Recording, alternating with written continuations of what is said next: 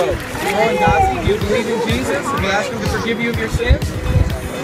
And upon your profession of faith and in obedience to Christ's command to go into all the world, baptizing in the name of the Father, Son, and Holy Spirit, we baptize you now in Jesus' name.